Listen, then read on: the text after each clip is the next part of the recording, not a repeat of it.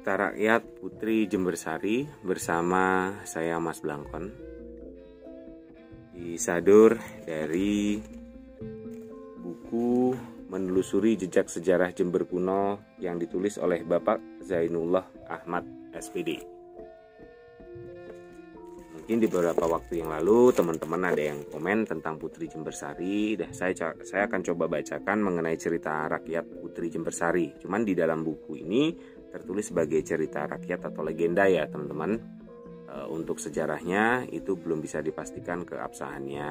Tapi masih berupa cerita rakyat. Tapi nggak apa-apa sebagai pengetahuan juga tentunya. Oke? Saya bacakan ya teman-teman. Pada zaman dahulu kala di dekat laut selatan terdapat sebuah perkampungan nelayan yang penduduknya hidup dari mata pencarian sebagai nelayan. Setiap hari mereka bekerja dengan mencari ikan di laut, hingga kampung tersebut dinamai dengan kampung nelayan. Kampung tersebut dipimpin oleh seorang kepala kampung yang memiliki seorang anak perempuan bernama Jembersari. Saat masih kecil, orang-orang di sekitarnya memanggilnya dengan nama Jember.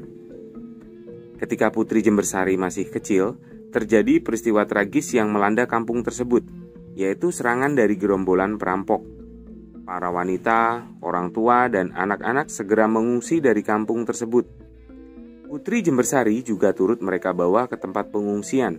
Sementara itu, para lelaki di kampung tersebut bertempur melawan para garong dengan gagah berani. Akan tetapi, mereka semua tewas di tangan para perampok. Sementara rombongan yang mengungsi tiba di sebuah tempat yang ada di dekat Sungai Bedadung. Tidak jauh dari sungai, ada sebuah telaga di sana. Lalu para pengungsi sepakat untuk tinggal dan menetap di sana. Maka dimulailah kegiatan di tempat baru tersebut sebagai hunian untuk bertahan hidup. Segala yang bisa mereka lakukan akan mereka kerjakan, mulai dari bercocok tanam hingga mencari ikan di Sungai Bedadung Air tak dekat sungai mereka manfaatkan untuk mengairi sawah dan ladang. Akhirnya tempat itu telah berubah menjadi sebuah desa baru. Putri Jembersari yang masih sangat kecil mereka rawat dengan penuh kasih sayang. Ada juga beberapa orang yang khusus memberi pendidikan pada Putri Jembersari. Ada yang mengajarinya ilmu bela diri, membuat obat-obatan dari akar dan dedaunan, bercocok tanam, berburu, cinta lingkungan, dan masih banyak lagi. Mereka menggemblengnya. Pantaslah jika saat besar nanti Putri Jembersari ibarat sosok harimau Jawa, anggun, cantik, lembut, sedikit pemalu, tapi tidak bisa diremehkan. Para penduduk membuat desa yang baru, dan rata-rata penghuninya adalah perempuan. Kondisi itu membuat mereka kesulitan untuk memilih seorang pemimpin desa. Mereka hidup bersama tanpa pemimpin dalam waktu yang lama. Hingga pada akhirnya Putri Jembersari semakin matang dan dewasa, para penduduk desa baru itu menunjuknya untuk menjadi seorang pemimpin. Mulanya Putri Jembersari menolak, namun akhirnya ia menganggukkan kepala. Dengan satu syarat, ia akan berganti nama menjadi Endang Ratnawati.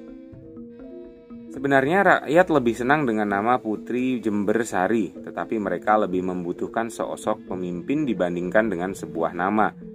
Pada akhirnya seluruh rakyat tidak mempermasalahkannya.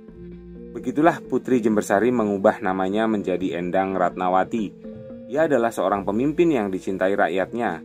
Mudah baginya untuk memimpin rakyat yang sudah terbukti hebat dalam bertahan hidup. Dalam hati, ia berjanji tidak akan pernah mengecewakan rakyatnya.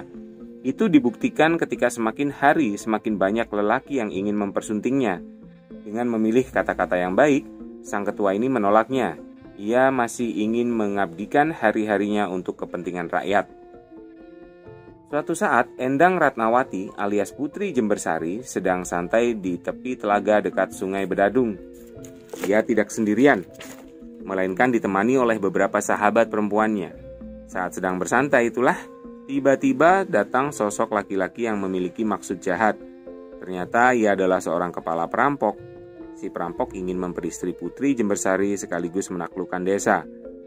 Tentu saja Putri Jembersari menolak dan melawan.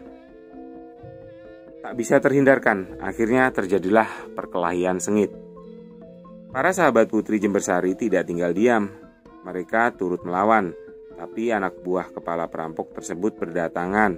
Mereka seperti datang dari segala arah. Alhasil, kisah lama pun terulang. Putri Jembersari, Benjembersari tewas di tangan perampok.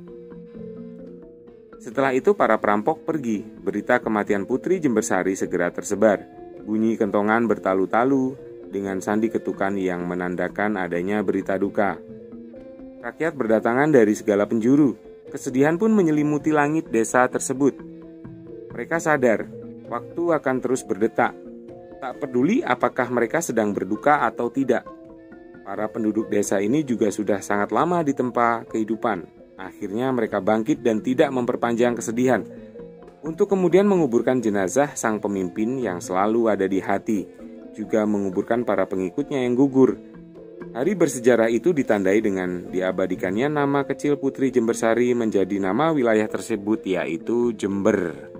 Nah itu tadi teman-teman eh, sekilas mengenai cerita rakyat Putri Jembersari yang dipercaya sebagai pergeseran nama menjadi nama Jember atau cikal bakal Jember cuman secara sejarah bukti peninggalan-peninggalan dari Putri Jembersari tidak saat ini belum ditemukan ya teman-teman.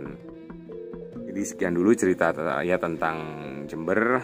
E, mungkin bisa menyimak cerita-cerita lain yang sekiranya itu lebih ilmiah di video-video saya mengenai sejarah Jember dan itu pun saya ulas bersama dengan Bapak Zainullah Ahmad selaku penulis Babat Bumi Sadeng yang cukup terkenal itu. Ya. Terima kasih. Eh, rahayu, rahayu, rahayu, sakung tumati.